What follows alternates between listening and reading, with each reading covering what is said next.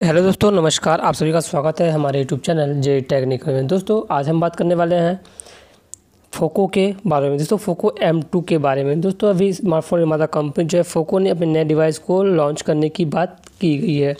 दोस्तों फोको का एक नया स्मार्टफ़ोन है, जिसका नाम है फोको एम टू जो दोस्तों हाल ही में भी से लॉन्च करने की संभावित तिथि आ चुकी है। इसमें तो बताया जा रहा है कि इस फ़ोन में कुछ अच्छे अच्छे आपको फीचर देखने को, जो कि एक बजट स्मार्टफ़ोन देखने को मिलेगा।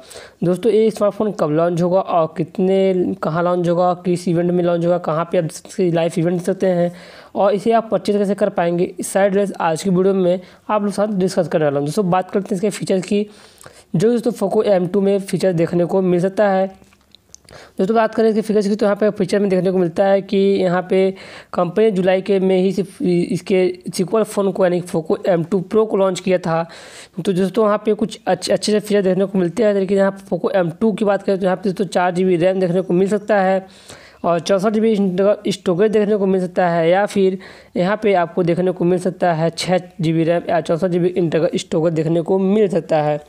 और दोस्तों, हम वही बात करें इसके और भी फीचर को लेकर के तो यहाँ पर उसको फोको एम टू प्रो या फिर फ़ोटो को एम टू प्रो के साथ कंपेयर किया जाए फोको एम टू को तो आप six point six inch seven six point six seven inch का डिस्प्ले फुल एच डिस्प्ले देखने को मिल सकता है।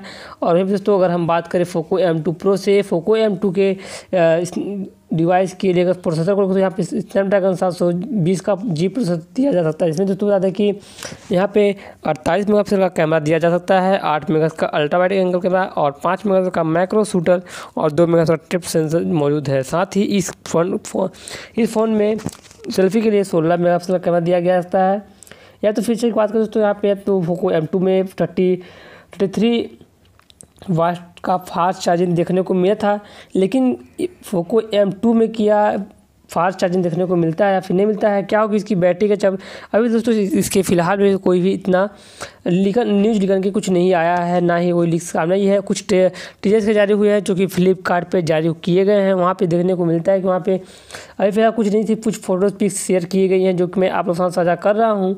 लेकिन दोस्तों इसमें कुछ ऐसी जानकारियाँ दी गई हैं जो कि फोको एम टू प्रो से कंपेयर किया जा रहा है। तो कहीं ना कहीं ये स्मार्टफ़ोन फोको एम टू तरीके से देखने को देखने को मिलता है। लॉन्च इवेंट की बात करें तो यहाँ पे पोको एम टू स्मार्टफ़ोन का लॉन्चिंग इवेंट आठ सितंबर को होगा, दोपहर बारह बजे से शुरू होगा। इस कार्यक्रम को कंपनी अपने आधार की, आधार, आधिकारिक यूट्यूब चैनल पर ही इसे लाइव दिखा सकती है और इसे इसे मीडिया की रिपोर्ट माने तो यहाँ पे पोको एम टू स्मार्टफ़ोन की कीमत दस हज़ार रुपये से कम भी रखी जा सकती है। दोस्तों, खबर लिखने के आई थी फोको एम टू को लेकर के लॉन्चिंग इवेंट को तो यहाँ पे फोको एम टू अपना नया स्मार्टफ़ोन आठ सितंबर को लॉन्च करेगा, जो कि भारतीय बाज़ार के लिए उपलब्ध होगा। साथ में दोस्तों, इसे फ्लिपकार्ट पर जारी कर दिया गया है और इसी किससे भी फ्लिपकार्ट ही ई कॉमर्स साइट फ्लिपकार्ट ही देखने को मिलेगी।